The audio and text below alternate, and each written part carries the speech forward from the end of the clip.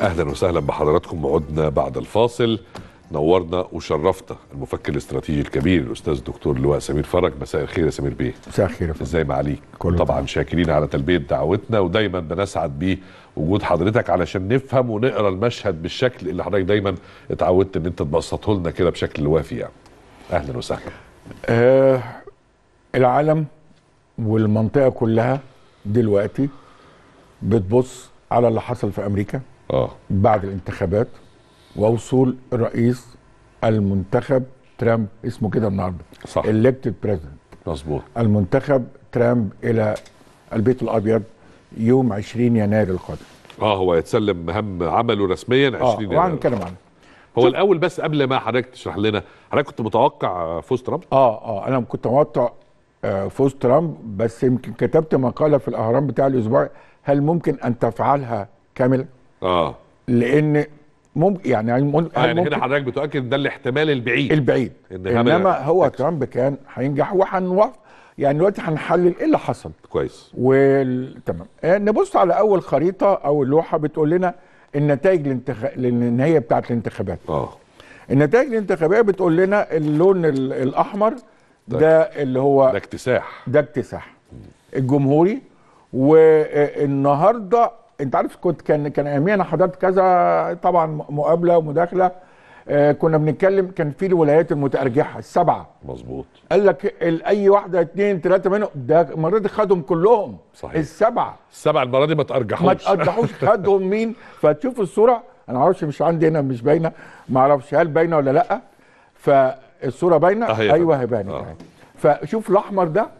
كله ده ترامب. وراحت هي خدوا الولايات اللي على الأطراف. مظبوط. دايما الديمقراطيين بياخدوا الولايات اللي على الأطراف اللي هم الأغنياء. إنما المرة دي بص الميد ويست بيسموها الوسط الأمريكي اللي هم الف... المزارعين والكلام ده اتسع فيه ترامب. مظبوط. لحد آخرهم النهارده لسه أريزونا قبل ما نيجي آخر السبعة كده قفل الموضوع. صح. المشكلة الثانية بقى الصورة الثانية في أمريكا. إن حتى الحزب الجمهوري بتاع ترامب راح خد الكونجرس الكونجرس مجلسين الشيوخ والنواب مظبوط خدهم الاثنين ف وكمان. فبقت النهارده ال... ال... ال... يعني ال... الحزب هو كاسب ال...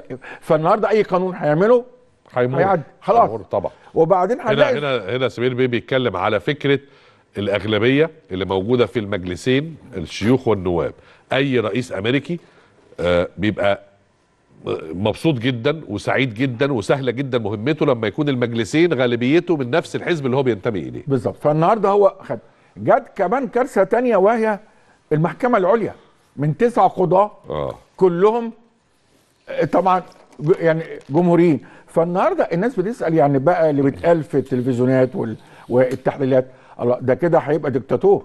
لأنه هيجمع في إيده كل السلطات صح. اللي موجودة آه فلكن هم بيقول لك إن أمريكا فيها الدولة العميقة برضه مش هتسمح له لأن هناك ولايات وهناك فدرالية وهناك آه، آه، برضه مثلا إعلام بينتقد آه. ولكن النهارده بس الحقيقة ممكن يعتبر- الحقيقة آه. إنه السجادة مفروشة إنه يعمل يستبدوا- يعمل اللي عايزه. يستبدوا يبقى دكتاتور براحته بالظبط ما فيش حد يوقفه إنما أنا بقول لك النهارده كل السلطات الثلاثه في إيده ده أنا شفت من يعني اليومين اللي فاتوا بس يا دكتور سمير وهو لسه ما بقاش رئيس آه، هيستلم زي ما قلنا 20 عمال ي... ما كانت قرارات ما كان قال أنا هكذا وهلغي الضرائب طيب. على كذا والناس كذا لا ما بيهزرش. هو رهيب يعني آه. طيب الناس بس برضه عايز تعرف إيه اللي حصل ده إحنا من أسبوع آه 50 50 ومتقاربين والمرة دي بقى الإعلانات تقول لك مرة ده فوق ومرة ده تحت آه. طب طب إيه اللي حصل؟ إيه إشمعنى ده كسب واشمعنى دي؟ خسرت؟ آه.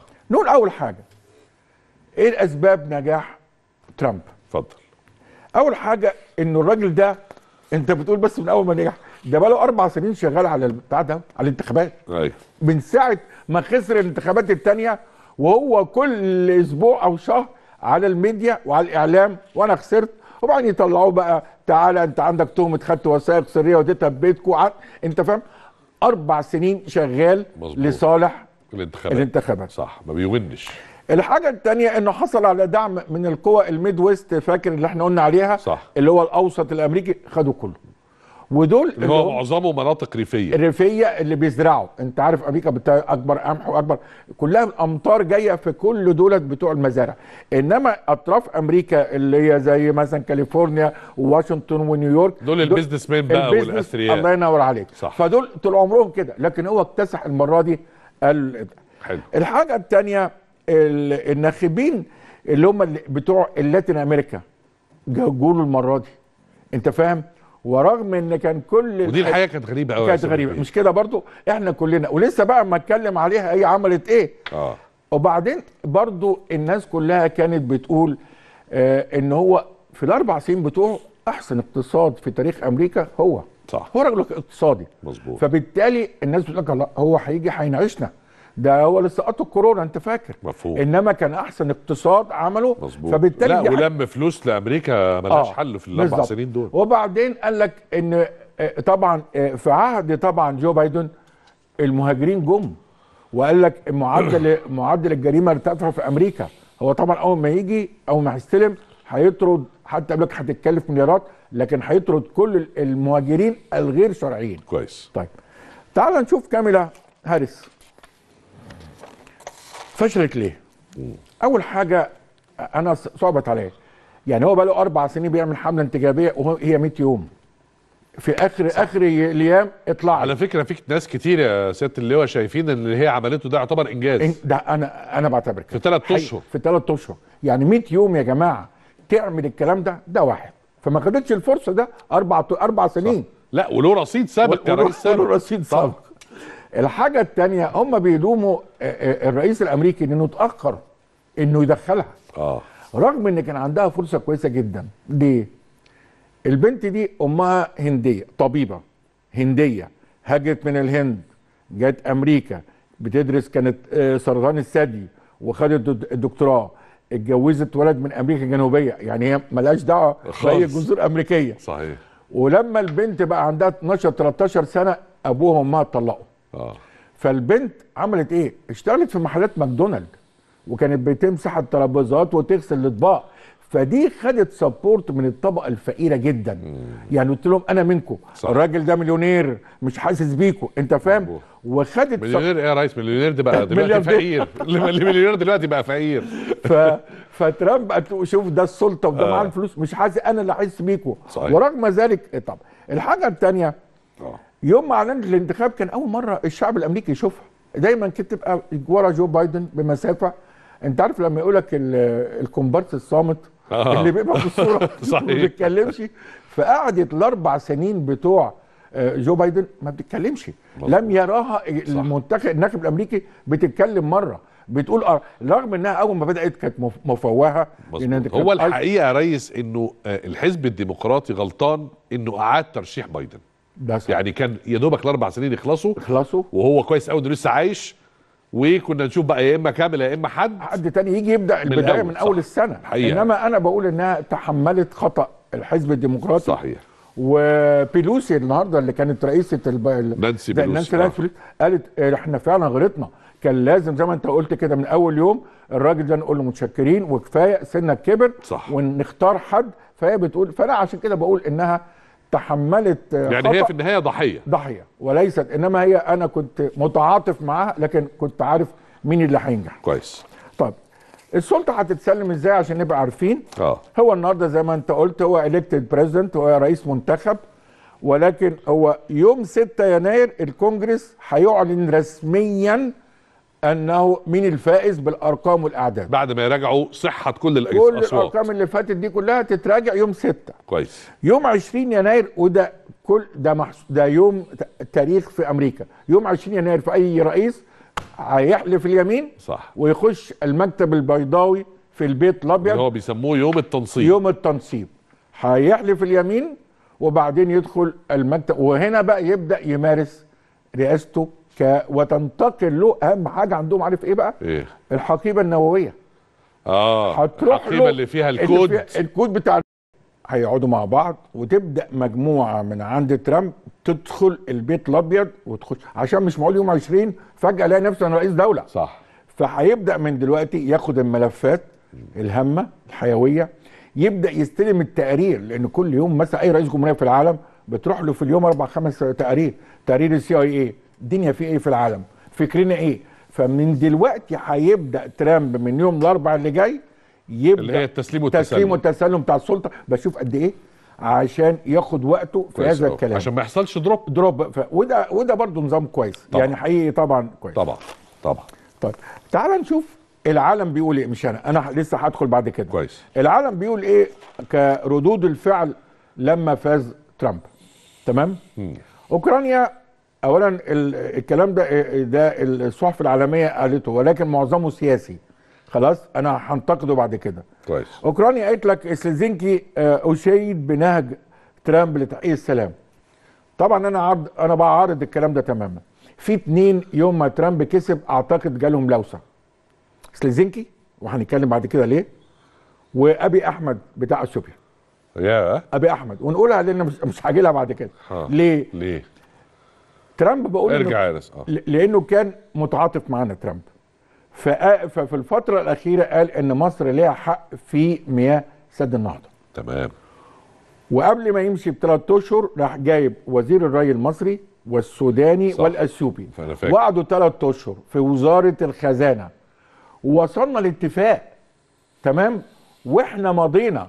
مظبوط. قبلها وهو بيوم- ترامب كان بيضغط على الجانب الأثيوبي عشان نخلص. صح. فقبلها بيوم عرفوا إن ترامب سقط فبتوع أثيوبيا مشيوا فعشان لما يجي أعتقد النهارده أبي أحمد هيبقى في موقف لا يحسد عليه مفهوم. سلزنكي طبعا هنتكلم عليه ماشي. روسيا طبعا سعيدة جدا آه، آه. بفوز ترامب وهنقولها بعد كده ليه كويس الصين طبعا بتقول هنتعامل معاه بسير من الاحترام ولكن لأن أنا مش هقول مش هقول الصين بعد كده ترامب هي- هيضغط على الصين الفترة اللي جاية وهيفرض رسوم كبيرة جدا على المنتجات الصينية في طبعا. ما هو أمريكا خد بال حضرتك هو بتاع البيزنس والدولارات جالهم بس فهتبقى بس. حرب اقتصادية. اقتصادية صحيح الاتحاد الأوروبي هنا كاتبين إنه يعني آه بنشدد على التعاون لكن الاتحاد الأوروبي كله والناتو قلقانين من ترامب خد بال حضرتك هنا مش عارف هترجع لها ولا لا عشان لو ما رجعتلهاش أسأل حضرتك فيها دلوقتي على علاقة الاتحاد الأوروبي لأنه ترامب سبق اعتقد خلال شهر ولا حاجة قال لما اكسب. هو الراجل كان يعني واضح انه ضامن انه كسبان على. طول. أنا جاي جاي. جاي. آه. قال كده قال إنه لو الاتحاد الأوروبي ودوله الكبيرة ما دفعتليش ثمن تأمينها أنا ماليش دعوة بيهم. ده صح. هو بيقول إن كل دولة في الناتو المفروض تدفع 5% من الدخل. آه. أنتوا كنتوا الأول بتستهبلوا مستعملين عليا. لا. يا تدفعوا يا بره. شكرا. ولذلك النهارده آه الاتحاد الأوروبي قلقان. حلف الناتو قلقان آه. خد بالك يعني ف- فدي زي ما انت كويس قلتها تمام. المهم إيران والكلام ده كله هنقوله بالتفصيل بعد حلو. كده نخش على والاحتلال برضو إسرائيل لسه أنا جاي لسه؟ هنخش تفصيل بقى تفصيل. بقى يلا بينا. طيب ترامب هيعمل إيه؟ الناس كلها كانت فرحانة لأنه قال لك إيه؟ أنا لو كنت موجود لا كانت حرب غزة قامت ولا الحرب بتاع روسيا أوكرانيا قامت ولو أنا جيت من أول يوم هوقف الحربين فالناس كلها عايزة سلام خلاص؟ صحيح. طيب نشوف هيعمل إيه. أول حاجة نشوف نتنياهو بقى. أول حاجة نتنياهو لازم نعرف إن هو الصديق الصدوق لمين؟ ترامب. تصور لحد امبارح كلمه كام مرة؟ خمس مرات. نتنياهو ده لسه ما قبل ما انزل. خمس مرات نتنياهو كلم ترامب. خمس مرات في اليوم؟ لا لا من ساعة ما نجح. آه من ساعة ما أعلن فوزه آه ما أعلن فوزه خمس برضه. كتير. أيوه طبعا كتير جدا. أمال لما يبقى رئيس هيعمل إيه؟ طيب. نتنياهو عايز يعمل إيه المرة اللي جاية الفترة اللي جاية؟ آه. ده تحليلي الشخصي. أي. وأعتقد إنه صح. لن يتوقف القتال في جنوب لبنان قبل يوم 20 يناير. إحنا بنتكلم على جنوب لبنان مش غزة. لا ما غزة خلاص تقريبا. تمام. خلاص؟ لن يتوقف ليه بقى؟ إن اولا نتنياهو عايز يدمر القوة العسكرية لحزب الله وليس تدمير حزب الله عشان ما حدش فهمني غلط. مفهوم. حزب الله مش هيتدمر ولا حماس هتتدمر لكن حماس تم إضعاف قوتها العسكرية. هو لن يترك مكانه أو يعمل سلام إلا قبل أن يدمر القوة العسكرية لحزب الله. حلو. حزب الله بيعتبر المؤسسة الوحيدة أكبر مؤسسة عسكرية في العالم غير دولة. آلاف آه الصواريخ بعيدا عن جيوش الدول. معنى الجيوش آه هي آلاف الصواريخ آلاف المسيرات. صحيح. فعشان يهلق يهدأ باله طبعا مش ده تفكير يا جماعة أنا بقول هو بيفكر إزاي؟ طبعا. عشان ما حدش ياخدها عليه يقول لك ده لا لا لا لا, لا. إحنا مع حزب الله قلبا أنت بتشرح وقالبا دلوقتي كيف يفكر نتنياهو. نتنياهو بيفكر إزاي إنه فرصته مش هيسيب الدنيا إلا لما ينهي القوة العسكرية لحزب الله. تمام. خلاص؟ تمام. ودي هيسيبها إمتى؟ ل 25 ل- ليوم 20 الحاجة الثانية 20 يناير. 20 يناير. إذا هيدمر القوى العسكرية. نمرة اثنين يرجع حزب الله لما بعد النهر الليطاني وهنشوف الصورة بعد شوية هتجينا تمام. خلاص؟ الحاجة الثانية هو ليه 20 يناير؟ عشان يدي الفرصة لحبيبه نتنياهو آه، آه، ترامب إن هو اللي عمل السلام. ما لو السلام اتعمل النهارده هيتحسب لمين؟ لجو. بايدن أو لجو بايدن. نفسه، آه, آه. آه نتنياهو بس مين في أمريكا؟ صح بايدن لكن النهارده أنا مخليها لبعد يا 20 سلام. يناير يعني يعمل اللي هو عاوزه ويدي لحبيبه اللقطة بالظبط السلام ماشي برضه لما بيكون في اتنين أنتيم ماسكين بلا بلاد آه ما هو الأنتيم بيعملوا كده تمام؟ ده كيمو أنتيمو آه تمام. آه، ممكن بقى في اللحظة دي الأيام اللي جاية ممكن تحصل اتفاقيه سلام صغيرة تمام أربع أيام 10 أيام. أهو ليه؟ عشان آخد الأسرى والرهائن اللي عند آه، إسرائيل مفهوم. اللي عند حماس. مفهوم. تمام؟ يعني لو لقينا آه، يقول لك أنت قلت مفيش سلام. لا أنا قلت السلام النهائي. في المنطقة مش هيتم إلا بعد يوم 20 لما ترامب يقعد على الكرسي وينسب السلام لمين؟ مين اللي حقق السلام؟ ترامب. ترامب. كويس. خلاص؟ عايز أقول لك حاجة قبل ما قبل ما نسيب نتنياهو. اتفضل. هتجدها صعبة شوية. اتفضل. نتنياهو ليس من صالحه دلوقتي إن يعمل سلام دائم وياخد كل الاسرى الرائن اللي عند حماس. معقولة؟ مش من مصلحته؟ مش من مصلحته. إزاي؟ أقول لك إزاي. آه. النهارده الأرقام مش محدودة لكن آخر رقم الصبح حتى أنا أكدته 105 رهينة إسرائيلية عند حماس. كويس. أنا ب... بقول لك إن ال 105 دول نصهم قتلى جثث. قتلى أيوه. ومين اللي قتلهم؟ الإسرائيليين. آه بالقصف. بالقصف. فالنهاردة لو هو استلم دول بالكامل وبقى في عندك 60 جثة دخلوا إسرائيل بكرة الشراء الإسرائيلي الله. يعمل مناحة. ده كانت ده كان جو بايدن طالب منك في شهر خمسة إنك تعمل سلام. وأنت رفضت. كنا خدناهم هم أحياء. صحيح. ده تحليل. فهتبقى خسارة ليه؟ فهو هيستنى لحد ما تخلص العملية ويقول لهم هاتوا بقى ونتبادل تضيع مع السلام. ده تحليل وجهة فعشان كده أنا ب- أنا ده تحليل الشخصي. وجهة نظر خلاص. فهو مش عايز كويس. يعمل الكلام ده. طب نشوف النهارده مشكلة جنوب لبنان. الصورة الثانية أي. ده جنوب لبنان. حماس أو حزب الله عنده ثلاث فرق عزيز ونصر وبدر ودول اللي موجودين النهارده في جنوب لبنان وهي دي المشكلة. خلاص؟ أي. نشوف الصورة الثانية اللي فيها الحل. اللي باللون الأحمر ده يا تامر جنوب لبنان كويس. أما تسمع بقى الجنوب اللبناني. الجنوب اللبناني ده اللون الأزرق ده وتلاقي ساعات بيقولوا الخط الأزرق اللي هي الحدود ما بين إسرائيل ولبنان. مظبوط. خلاص؟ فوق نهر الليطاني. في القرار الامم المتحده عاملاه 106 بيقول إيه؟ إن يتواجد في الجنوب اللبناني الجيش اللبناني واليونيفيل اللي هي القوات بتاع الأمم المتحدة. حفظ السلام. حفظ السلام. لكن النهارده مين اللي قاعد في الجنوب اللبناني؟ حزب الله.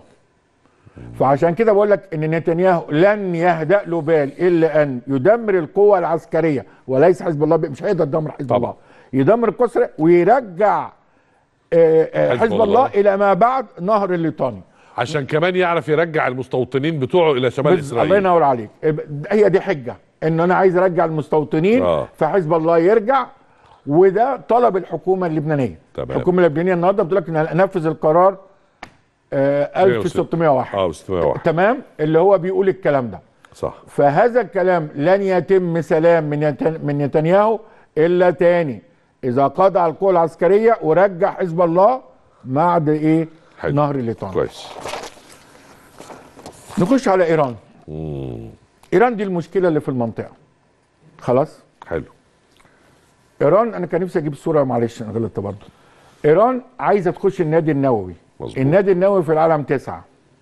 صح. أمريكا إنجلترا فرنسا روسيا الصين باكستان الهند إسرائيل كوريا. دول التسعة.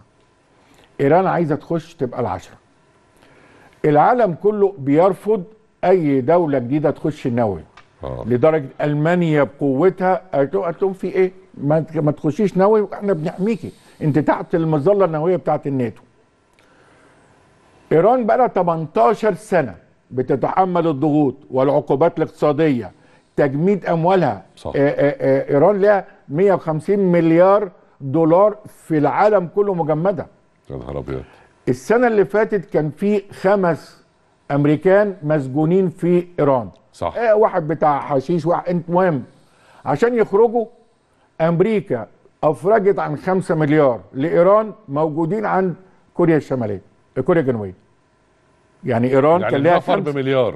الفرد بمليار. النفر بمليار دولار بسم الله أمريكا لها. الأسلوب بتاعها إن المسجون لازم يخرج. كويس. خلاص؟ فأنا عايز أقول إيه؟ إن إيران عليها ضغط كبير جدا الفترة اللي جاية. تمام. فأول حاجة إن طبعا نتنياهو قصدي ترامب أنت عارف هو لغى الاتفاق 5 زائد واحد مظبوط. اللي كان من خمس سنين اللي عمله أوباما وقال إن الكلام ده هيخلي إيران تطلع القنبلة النووية. آه. آه. ده ولو سمحت لي حضرتك تتفق مع التحليل كمان أنا الحقيقة متفق معاه. وهي فكرة إنه إيران عاملة خلال السنة ونص اللي فاتوا حالة ضبط نفس وما بتردش بجد على الاعتداءات والاستفزازات الإسرائيلية بس عشان هي مستنية تتمم مشروعها النووي الله ينور وده وده وده اللي هنقوله. آه. طب ايران طب آه، هل يعني ترامب لو اتهور وقال البنتاجون اضربوا إيران هيرفضوا؟ هيرفضوا. آه لأن العملية دي لو ضربوا إيران وضرب المفاعلات النووية إيران بقى خلاص هتبقى حرب إقليمية. صح. هتبهدل بس مش الدنيا هتبقى على. حاجة ساعتها. آه. ف- فبالتالي دلوقتي احتمالات كبيرة إن آه، ترامب هيزود العقوبات الاقتصادية على إيران. كويس. طب إيران في الموضوع ده هتعمل إيه؟ هي دلوقتي بتست... عايزة تستمر في إنتاج القنبلة النووية وده هدفها بقى 18 سنة عايشة عليه اللي أنت بتقوله نمرة اتنين عدم القيام بأي عمليات هجومية ضد إسرائيل. طب ده آه، خميني كل شوية هنضرب كل ده في الهواء لكن زي ما أنت قلت لن تقوم إيران بأي عمل عدائي ضد إسرائيل. آه. وفاكر لما ضربت المرة اللي فاتت 220 صاروخ. عورت بنت. أيوه صح. بنت في صحراء النقب. وهي قصده يا فندم. ده أنا طلعت قلت في آه الفن- مظبوط. إن الرأس يا اللي كانت ده بلغت إسرائيل قبل ما تضرب. خلي. بالك أنا هضرب السبت الساعة 12 الظهر. تمام. فعشان كده ب... لو إسرائيل حاولت تضرب بقى آه. إيران عندها قوة كبيرة جدا. اولا إيران هتضرب إسرائيل. وهتضرب المصالح الأمريكية في المنطقة. مفهوم. بص الصورة الثانية بقى. آه. الصورة الثانية إيران بتتحكم أنا الفكرة دي فكرتي مثلث المضايق في المنطقة. مضيق هرمز ده بتاع مين؟ إيران زي إحنا قناه السويس بتاعت صح. مين؟ مصر. فمضيق هرمز وبعدين باب المندب مسيطرة عليه بالحوثيين. يبقى أنت تلت الطاقة في مضيق هرمز بيعدي من هنا فوق. صح. خلاص مين اللي مسيطر عليه؟ إيران. إذا لو قامت حرب إقليمية في المنطقة الدنيا هتتهز ولا لأ؟ مليون في المية. أمريكا هتوافق على كده؟ لا. وأسعار البترول تزيد؟ فاذا بالتالي هم ماسكين الاثنين العنق الاثنين آه. بتاع الطاقة. فعشان كده هناك ليست لا يقدروا هناك يعملوا تهديد حقيقي. يعني. حقيقي. فعشان كده أمريكا اللي ظبط العملية.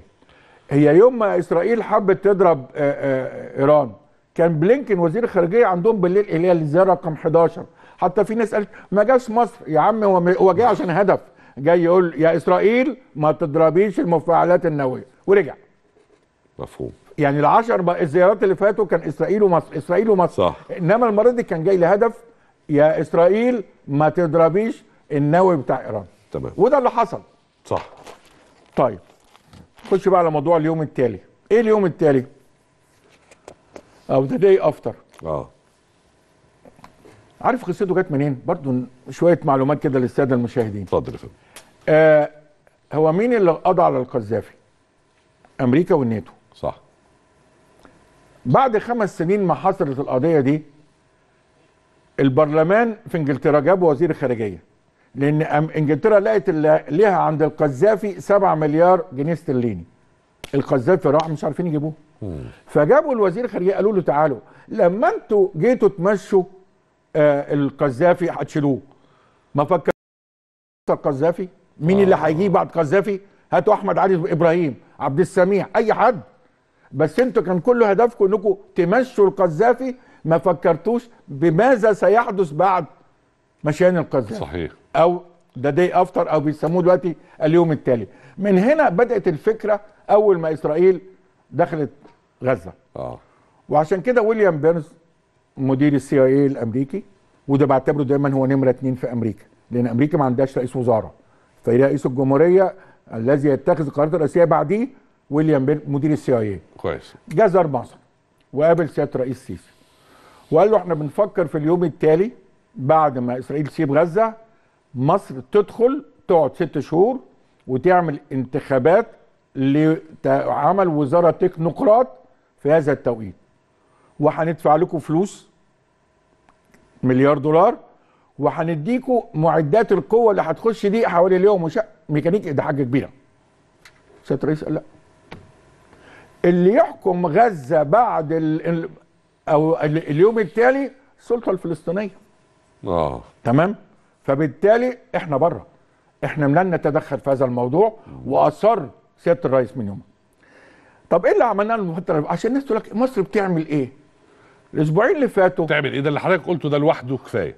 لا، حضرتك لسه- قلته دلوقتي طب ده لسه التاني بقى. لوحده كفاية في فكرة استقلالية القرار الفلسطيني وعدم يعني تدويل القضية أو التدخلات الله. ينور عليك. وسيادة الرئيس قال إحنا ليه؟ في شعب وفي حكومة. صح. الأسبوع اللي فات إيه اللي حصل في مصر؟ المخابرات العامة جابت فتح وحماس. تعرف الاثنين دول على خلاف. مظبوط. فتح مختلفة مع حماس. برضو نوضح للسادة المشاهدين. ليه؟ فتح متفقة على إن حل القضية في خلال دولتين. دولة إسرائيلية ودولة فلسطينية غزة والقطاع عاصمتها القدس وإن ده الشرقية يجي عن طريق التفاوض. وإنت اتفق حماس تقول لك لا هي دولة واحدة. إسرائيل دولتي. صح. فإحنا والطريق عن طريق المقاومة المسلحة. المقاومة المسلحة. فاحنا الأسبوع اللي فات المخابرات العامة جابت الطرفين وقالت لهم نقعد عشان نشوف غزة مين هيسيطر عليها. أيوه. لأن برضو إحنا عندنا نقطة ضعف. الغرب وأمريكا يقول لك اما نقعد نتكلم مع الفلسطينيين نتكلم مع مين؟ صح. مع حماس في غزة ولا مع السلطة في, الضفة. رام الله في الضفة. فبالتالي مصر نجحت إنها تجمع الطرفين. واتفقوا إن بعد ما إسرائيل تمشي هتشكل حكومة أو إدارة مشتركة أساسها السلطة الفلسطينية. تمام. والذي سيدير المعبر رفح السلطة الفلسطينية. تمام. فبالتالي أقول للناس ده عشان يعرفوا مصر عملت إيه؟ لا إحنا عملنا كتير. تمام. خلاص؟ بس إحنا منتظرين إن الجانب الإسرائيلي يوافق. يوقف ضرب. يوافق الكلام ده. إنما مصر بترفض التدخل كويس. في في هذا الموضوع. طيب. الموقف في لبنان. آه. وهو أخطر المواضيع حاليا. أيوه الموقف في لبنان يا تامر آه. لبنان في مشكلة مشكلة كبيرة. صحيح. صحيح وإسرائيل تعدت اللي قلت الجنوب اللبناني الخريطة اللي إحنا شرحناها وبدأت تضرب في بيروت وده- لأن برضو ال- المقاومة الف- الف- الفلسطينية مش حاطين بس في الدهب طبعاً، في كل حتة. طبعاً. فضربوا في بعلبك. يا راجل دول قالوا لبعلبك فضوا السكان من الأسبوع اللي فات. أيوة. قالوا السكان افضوا. فالموقف في لبنان لبنان عايزه تطبق القرار 1701 وده حقها إن لا يتبقى في الجنوب اللبناني سوى الجيش اللبناني واليونيفيل الامم المتحدة. تمام. صح؟ آه برضو لازم لبنان لبنان بقى سنتين مش عارفة تنتخب رئيس جمهورية. فلازم يت- يتم انتخاب رئيس جمهورية لأن كان حزب الله طبعا مانع صحيح. وإيران وأنت عارف. فعلاوه أن لبنان بتطلب بقى مساعدات دولية لإعادة إعمار لبنان لبنان اتبهدلت الفترة اللي فاتت. الموقف المصري إحنا بنعمل إيه دلوقتي؟ عشان الناس تبقى عارفة. واحد إحنا بنبذل كل الجهود لوقف إطلاق النار. ليه؟ عشان ندخل مساعدات إنسانية يا تامر. الوضع في غزة سيء سيء. أكيد. إحنا عايزين أي وقف إطلاق نار. سياده الرئيس قال أربع أيام. ندخل شحنات أكل للناس. الناس هتاكل بعضيها جوه فده الهدف الوحيد في مصر. مصر النهارده عايزة آه، آه، تؤكد على انسحاب إسرائيل بالكامل من غزة. وعايزة إن سيطره المعبر بتاع رفح بتاعنا مظبوط. من هناك من مين؟ من السلطة. صح. مصر هتستمر في أداء مهمة التفاوض. أنت شفت امبارح قطر عملت إيه؟ مظبوط. انسحبت. قطر إيه؟ قطر قالت لك أنا من من بكرة ماليش علاقة بالمفاوضات وطلعت نفسها. آخر حاجة بقى الحرب الروسية الأوكرانية قدامنا خمس دقائق قدامنا ثلاثة ثلاث دقائق يلا. آه، الحرب الروسية الأوكرانية طبعا آه، في حاجة مهمة إن جو بايدن تطاول على آه، الرئيس بوتين الامريكي الفترة اللي فاتت. نشوف الصورة اللي بعديها على الأقل بس لو سمحتوا. إنه قال عليه إنه ديكتاتور وقاتل آه. وسفاح ومجنون في في البتاع ده حصل. فبالتالي ال- الأمور تأزمت لكن لكن النهارده بوجود ترامب وكان له علاقات فأعتقد إنه هي- هيحاول يحل ال- المشكلة بتاعت الحرب وهيوقف الحرب طيب أنا عايز بس بعد إذن سيادتك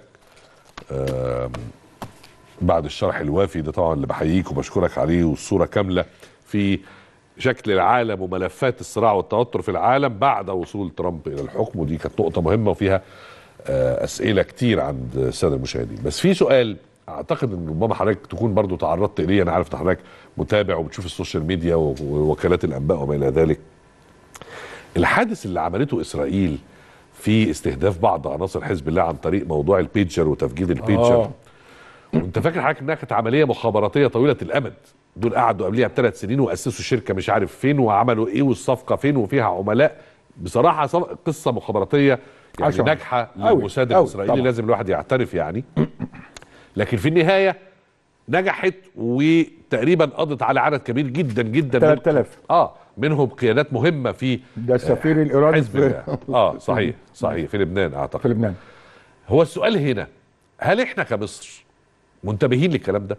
يعني على علم بما تفعله الموساد والتكتيكات دي وبتاع لأنه الحقيقة. في ظل ال- الثورة الإلكترونية الأمن القومي لكل دول العالم دلوقتي بقى مهدد بشكل كبير. تمام. أنا سألته مرة في حتة برضو آه اتسالته آه آه آه. الناس بتقول طب اشمعنى إحنا خايفين على جيشنا؟ أنا عايز أطمن خايفين حضرتك. على بلدنا كلها. على بلدنا. آه. بص يا تامر إحنا أول درس كانت مشكلة اتعلمناها في 67 هراء مشيت طنطاوي لك الحرب بتعلم الحرب. لقينا إسرائيل كانت بتح... في 67 كانت نازله عند الحسنة بعت الدوريه عشان تخش على عقدة مواصلات وتاخد منها وصول. تاخد منها؟ اتصال آه. عشان يبقى كل اتصالات بتاعت الجيش وكان ايامها كله خطوط بقى. أيوه صح صح فمن هنا بدأنا بقى إحنا كل سلاح بيجي من بره مفيش حتة سلاح بتخش مصر إلا لما تتفصص حتت وتركب تاني مثال عشان أراعي الموضوع ده عندنا أحسن ورش موجودة في كل الأسلحة. هنقول فرقاطة. وصلت اسكندرية جاية من ألمانيا. 100% في صوابع دخلت هناك. الرادارات بتاعت الفرقاطة بتتفك من الفرقاطة وتنزل. آه، الورش بتاع الدفاع الجوي. تتفك حتة حتة. يا سلام. مش عشان مش عشان إنها تتخ... لت... لا ده ممكن يحط في حاجة trans... آه، transmission تلقط هدف يروح لهم الناحيه الثانية طبعا طبعا. بيتفك بالمسمار. يا سلام خلاص ال fire control system بتاع البتاع يتفك زي ما هو ويطلع ورش الأسلحة والذخيرة بتاع القوات المسلحة. الإشارة والاتصالات تروح لورش الإشارة. كل ده كل ده بتتفلى. بيت واحد صاحبي بيحكي لي بيقول لي أنا رحت أشوف الفرقاطه اللي جات لنا من ألمانيا أنا لقيت جسم مفيش عليه حاجة. كله اتفك وراح وبعدين بتاخد بتاخد ختم الكنترول من هيئة التسليح. أن المعده جاهزة للاستخدام وليس فيها أي شيء. إحنا مش خايفين إنها هتتضرب لا إحنا خايفين إنها يحصل تشويش. يعني مظبوط. الفرقاطه ماشية وحصل تشويش على الرادار. مش. هتشوف ولا طيارة فجأة تلاقي الطياره فوق ضربها. صحيح صحيح. فإحنا كل سلاح ده بيجي مصر حضرتك بتقوله ده بيتفلى مطمئن جدا. بيتفلى يا جماعة الجيش بتاعنا إحنا آه، جيش جيش عظيم. بيتفلى. حتت. وتتفصص طيارة بتتفصص البودي بي بي بيعاد آه، آه، في ورش القوات الجوية وتشوفوا حتة حتة والجيش كله ده بيتعمل حتى لو كانت جاية من دولة صديقة ما لهاش لا، دعوة لا صديقه فيش في فاهم؟ والحرب صديق لا ولا لا مش الكلام. ده عندنا بقاله فترة ممتاز. ولكن بنطمن كل الناس شرفتني ونورتني ودايما بنسعد وبنستفيد يا سيادة شكراً. شكرا جزيلا نشوفك على خير قريبا بإذن الله شكرا لحضراتكم. أرجو أن تكونوا قد استفدتم من هذه القراءة التحليلية الاستراتيجيه نروح لفاصل ومنه للختام وأقول لكم سلام.